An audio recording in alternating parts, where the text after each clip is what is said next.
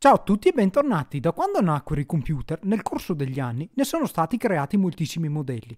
Nella maggior parte dei casi, di molti di essi, non ci si ricorda più nulla, ma altri, invece, sono stati talmente apprezzati a causa del design, potenza o delle innovazioni che introdussero, che sono entrati nei cuori e nelle menti delle persone. Nel video di oggi vorremmo riproporvi alcuni di questi computer, considerati da molti i migliori nella storia, quasi da definirsi dei mostri sacri.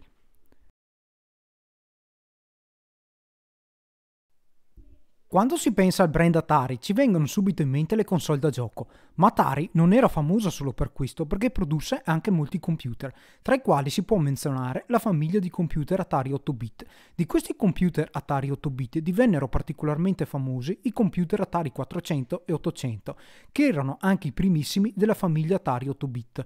Questi due computer vennero commercializzati dal 1979. Per quanto riguarda l'Atari 400 era il computer di fascia bassa ed era dotato di 8 KB di RAM anche se inizialmente dovevano essere di 4 KB, mentre l'Atari 800 era il computer di fascia alta ed era dotato di 8 o 16 KB di RAM. Entrambi i computer, per rientrare nelle normative della Federal Communication Commission riguardanti le emissioni elettromagnetiche, venivano costruiti con telai in alluminio presso fuso e case in plastica rigida per schermare le onde elettromagnetiche. Inoltre risultavano essere anche molto resistenti, ma ciò ne faceva aumentare il prezzo di vendita. Mm. A livello hardware e prestazionale, sia l'Atari 400 che l'Atari 800 erano computer molto avanzati, soprattutto in campo grafico. Infatti, fino all'arrivo del Commodore 64 erano loro i PC più veloci e avanzati in ambito grafico. Inoltre, dal 1980 al 1982 superarono anche nelle vendite l'Apple 2. Gli Atari 400 800, oltre ad essere molto usati in ambito aziendale, vennero usati moltissimo anche dai gamer, grazie al loro comparto grafico molto potente che permetteva di giocare a giochi particolarmente avanzati e vincenti vincenti, ovviamente parlando per l'epoca. Comunque negli anni seguenti Atari commercializzò nuovi modelli di computer Atari 8-bit fino al 1992. Atari brings the computer age home. Okay, Ma, what's the capital of Nebraska? Oh, come, come on, come on. I'm trying. Atari home computers can teach you or reach you with important information anytime, day or night. I already checked the computer. The uh, Bears lost. How about the Lions? Oh, you owe me on that too. And if your jump shot is a little off, we can help you there, too. Hey, guys, how about a deal? The car tonight for Atari basketball. no. In fact, there's no end to your possibilities with Atari home computers. They're easy to That's use good. and afford. But best of all, they just might be the wisest investment you'll ever make. Watch this. Hey, Mom. Hmm. What's the capital of Delaware? Dover. I told you she's smart. Atari home computers. We've brought the computer age home. Cosa si potrebbe dire dell'IBM PC 5150? Semplicemente è stato un computer leggendario. Secondo noi, fra tutti i computer creati, questo è stato il migliore. Infatti si può dire che sia stato lui a plasmare il concetto del PC moderno, cioè quelli che usiamo attualmente. Comunque l'IBM PC 5150 venne progettato in gran segretezza nell'arco di un anno e dal 1981 iniziò ad essere venduto e fin da subito ricevette un enorme successo, ben oltre le aspettative della stessa IBM. In alcuni mesi riusciva a vendere più di 40.000 PC. Il motivo era da ricercarsi nel nuovo concetto di costruzione, poco costoso ed altamente espandibile, per adattarsi ad ogni esigenza. Infatti iniziò ad essere usato il termine IBM compatibile per distinguere questa nuova categoria di computer. Comunque IBM per assemblare il PC 5150 utilizzava moltissime parti prodotte da terzi. Facendo così andava a diminuire i costi di produzione e nel frattempo offriva un ottimo rapporto prestazioni-prezzo. L'essere perfetto. Per quanto riguarda il sistema operativo, il PC 5150 di serie veniva venduto senza sistema operativo, ma IBM offriva tre scelte. Tra cui PC-DOS, CP-M86 e UCSD P-System. L'IBM PC 5150 fu talmente rivoluzionario e apprezzato che nell'arco di qualche anno c'erano già molti brand che producevano cloni del tipo IBM compatibile, perché IBM scelse di rendere lo standard IBM compatibile uno standard aperto. Addirittura negli anni a seguire molti di questi brand riuscirono a superare IBM nella progettazione e costruzione di PC del tipo IBM compatibile. Infatti al giorno d'oggi IBM non produce più computer. IBM put a lot of what it knows about computers into the new IBM personal computer. Not to make it complicated, but to make it simple. So it's easy to understand and easy to use. IBM made its personal computer to help a person be more productive, to help a person be more creative. And those are good reasons for a person to feel good. The IBM personal computer, coming to selected stores across the country.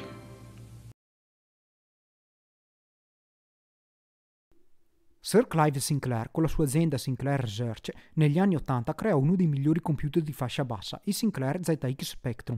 Lo ZX Spectrum venne progettato da un piccolo team di ingegneri tra il 1980 e il 1981. Il nome in codice che gli fu dato durante la progettazione fu ZX82 o anche ZX81 Color, perché era il successore del ZX81. Il Sinclair ZX Spectrum era un computer notevolmente migliorato rispetto al precedente ZX81, visto che che era dotato di audio e di modalità video colori. Infatti il nome Spectrum voleva sottolineare la capacità di visualizzare immagini con un ampio spettro di colori. Comunque, il 23 aprile 1982 iniziò ad essere venduto a partire da 125 sterline, divenendo in fretta uno dei principali antagonisti del Commodore 64, visto che il Commodore 64 costava di più. Il Sinclair ZX Spectrum fin da subito ottenne critiche molto positive. Il motivo principale era dovuto al prezzo di vendita basso, coadiuvato da un hardware che gli conferiva buone prestazioni anche in gaming, anche se alcuni utenti lamentavano il fatto che andava in blocco a causa del surriscaldamento.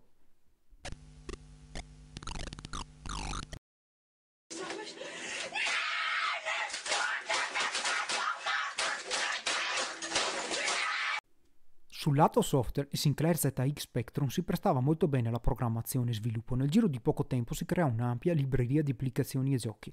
Ancora oggi alcuni appassionati sviluppano software per il Sinclair ZX Spectrum. Negli anni seguenti vennero creati nuovi modelli migliorati tipo il Sinclair ZX Spectrum Plus e dal 1986 la produzione passò ad Amstrad, che creò ulteriori nuovi modelli. Inoltre all'epoca vennero creati innumerevoli cloni del Sinclair ZX Spectrum. Un esempio sono i cloni cloni sovietici tipo il Dubna 48K.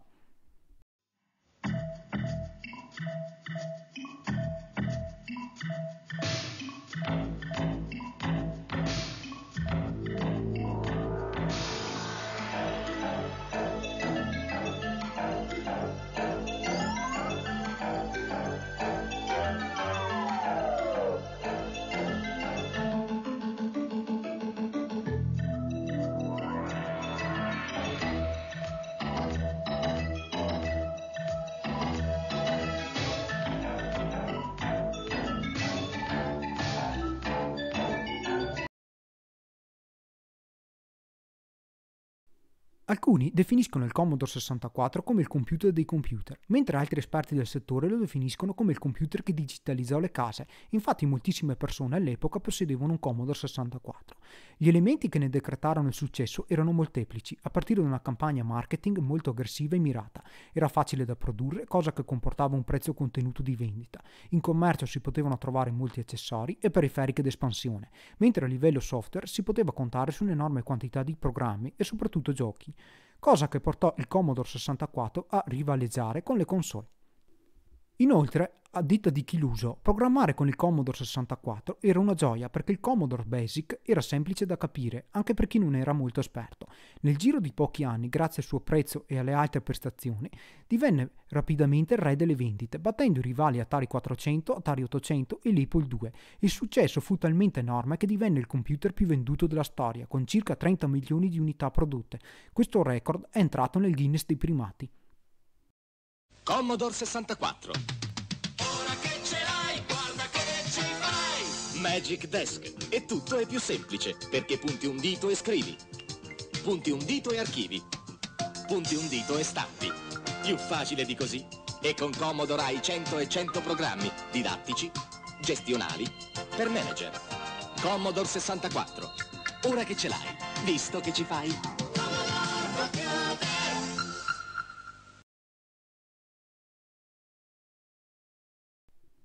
Steve Jobs e Steve Wozniak, dopo aver accumulato 50.000 dollari dalle vendite dell'Apple 1, riuscirono ad attirare un nuovo investitore, Mark Marculla, che investì in Apple circa 250.000 dollari. Grazie a tutto ciò decisero di creare l'Apple 2, una versione più sofisticata e prodotta in serie dell'Apple 1. Infatti l'Apple 1 veniva assemblato nel garage di Steve Jobs. Comunque l'Apple 2 fu uno dei primi computer al mondo prodotti in serie di maggior successo e anche uno dei più longevi nella storia, visto che venne venduto dal 1977 al 1993. È giunta la mia ora. Ovviamente nel corso del tempo comparvero nuovi modelli dell'Apple 2, quasi sempre costantemente migliorati uno dall'altro, ma quello più longevo e che venne venduto di più fu l'Apple 2e. Nel 1985 l'Apple 2e venne migliorato ulteriormente con una nuova versione chiamata Apple Enhanced 2e, con una nuova CPU Western Digital 65C02 e 32 nuovi caratteri e nel 1987 uscì l'Apple Platinum 2e, con tastierino numerico integrato e con 128 KB di memoria RAM di serie.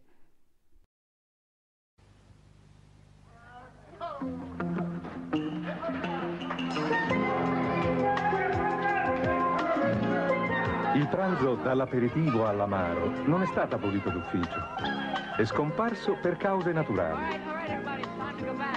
Apple ha capito che il lavoro è qualcosa di diverso. Ecco perché ha fatto i personal computer più avanzati del mondo. Presto ci saranno solo due tipi di persone, quelli che usano i computer e quelli che usano Apple.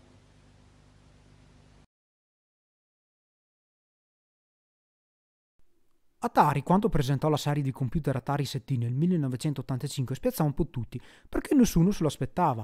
Comunque, in poco tempo, soprattutto in Europa, divennero molto apprezzati, mentre negli Stati Uniti ottennero un po' meno successo, a causa della diffusione dei computer del tipo IBM compatibile e computer della Apple. Il computer che venne maggiormente apprezzato della serie Atari ST fu l'Atari 1040 ST, una versione migliorata e con più memoria dell'Atari 520 ST. L'Atari 1040 ST iniziò ad essere venduto dal 1986. Di serie offrivano CPU Motorola 68000 e un MB di RAM. Il fatto curioso è che questo computer divenne il primo computer ad offrire un MB di RAM a meno di 1000 dollari. Di solito all'epoca i computer con un megabyte di RAM costavano più di 2000 dollari. Per quanto riguarda il comparto video, l'Atari 1040 ST, come del resto tutti i computer Atari ST, erano meno performanti dei rivali Amiga, dotati di coprocessori grafici per capacità video avanzate, ma non per questo vennero snobbati in ambito gaming, visto che vennero creati molti giochi per gli Atari ST. Il sistema operativo degli Atari ST era l'Atari TOS, che aveva un'interfaccia grafica molto simile al Macintosh. A causa di ciò venne soprannominato Jackintosh. Il nome deriva da Jack Tramiel, al tempo presidente dell'Atari, e dal nome Macintosh. L'Atari 1040 ST divenne molto famoso anche nel settore musicale, sia professionale che amatoriale, visto che aveva porte MIDI ed il comparto audio era di buon livello. E se Dio fosse uno di noi grande nano come noi. Blu blu blu. Un po' di tempo dopo, per ovviare l'assenza di un coprocessore video per capacità video avanzate, Atari presentò il 1040 STE, che implementava un chip Blitter con capacità video avanzate. Anche altri computer Atari ricevettero questo upgrade, però gli sviluppatori di giochi integrarono poco l'utilizzo di questo chip, perché quando venne implementato ormai era troppo tardi. It's a myth that the IBM PS2 has the most memory for the money. Atari shatters that myth. Fact is, the 1040 ST has 50% more memory, and it sells for a lot less. It's a myth that the Amiga has the most memory for the money. Atari shatters that myth. The 1040 ST has a huge 1 megabyte memory, twice the memory of the Amiga. Face the facts, the Atari 1040 ST is powerful and affordable. Atari shatters the myth.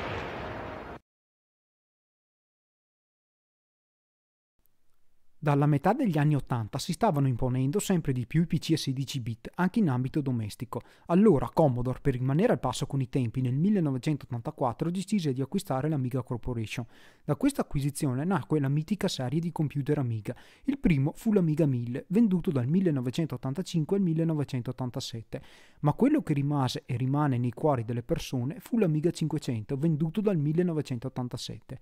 L'Amiga 500 era il successore dell'Amiga 1000, ma costava meno ed integrava la scheda madre direttamente nella tastiera, mentre a livello hardware, come sull'Amiga 1000, si trovava il processore Motorola 68000 e i vari coprocessori per gestire l'audio e video, mentre come sistema operativo si trovava l'Amiga OS. L'Amiga 500 divenne famoso perché non costava molto, era un computer potente, veloce e soprattutto adatto al gaming, mentre come l'Amiga 1000 il sistema operativo Amiga OS offriva multitasking con prelazione e un'interfaccia grafica del tipo WIMP. A livello video l'Amiga 500, alla risoluzione di 640x512, poteva visualizzare contemporaneamente fino a 16 colori, da una palette di 4096 colori. Per i tempi era una caratteristica molto avanzata, anche l'audio stereofonico 8 bit era molto avanzato per il periodo. In seguito, nel 1991, dell'Amiga 500 venne creato anche il modello potenziato chiamato Amiga 500 Plus. I am the Commodore Amiga 500 home computer. Dazzling animation at your command. I am the Commodore Amiga 500, a multitasking home office in your hand. I am the Commodore Amiga 500, total home video you control, and arcade quality games in stereo. And now, you can be everything I am. Many other models available. See your full service authorized dealer, Modern Business Machines.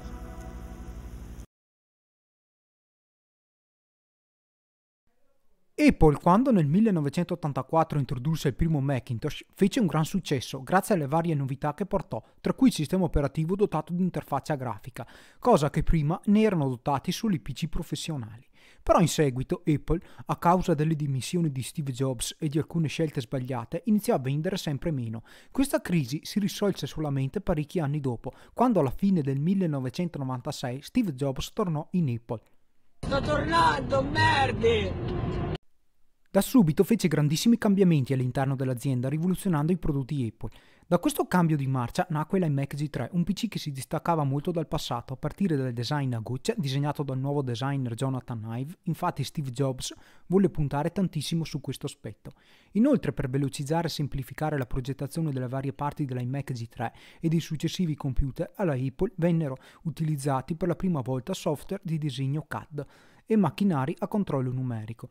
Comunque nel 1998 l'iMac G3 iniziò ad essere venduto. Da parte della critica ottenne recensioni contrastanti, alcuni lo definivano un azzardo da portare Apple quasi al fallimento, vista l'assenza di porte seriali e floppy. L'iMac G3 era dotato di lettori CD e porte USB, il mouse e la tastiera erano scomodi da usare, per alcuni le prestazioni erano sottodimensionate, mentre altri recensori lo definirono un prodotto rivoluzionario e di facile utilizzo.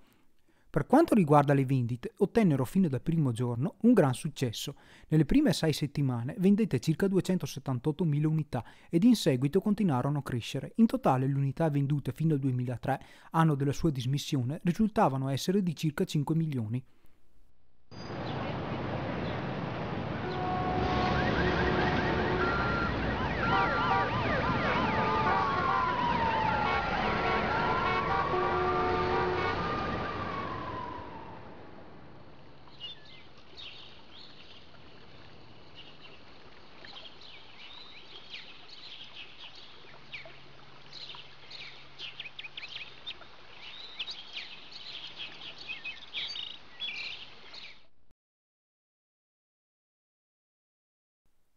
Computer che vi abbiamo mostrato oggi sono alcuni tra i migliori computer creati. Attualmente vengono usati solo da qualche appassionato, visto che sono stati superati da computer più potenti, ma in ogni caso in futuro si continuerà a parlare di loro. Se avete posseduto uno di questi computer, avete informazioni ancora più dettagliate o volete suggerire altri computer per la seconda parte che faremo più avanti, piccolo spoiler, inseriremo il mitico Olivetti M24. Non esitate a scrivere le vostre esperienze nei commenti. Inoltre se vi è piaciuto il video mettete like like iscrivetevi al nostro canale YouTube. È tutto gratuito e ci darete una mano a farlo crescere. Grazie.